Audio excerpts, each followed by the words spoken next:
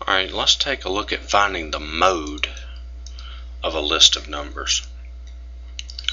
So in this problem, the mode is equal to the number that appears most often.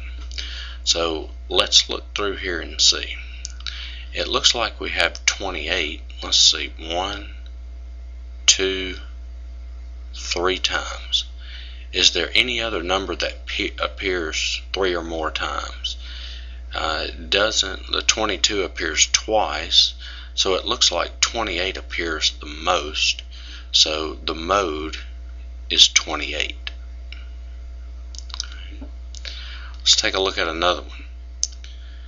Okay so we can see here we have 312 twice. Is there anything else yeah we have 219 it appears twice.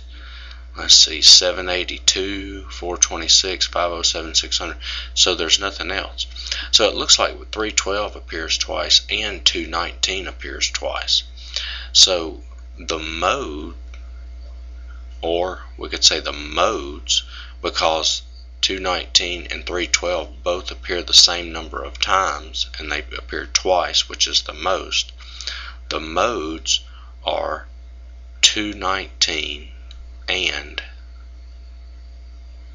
312 so this problem here has two modes or we could say that it's that this list of numbers is bimodal.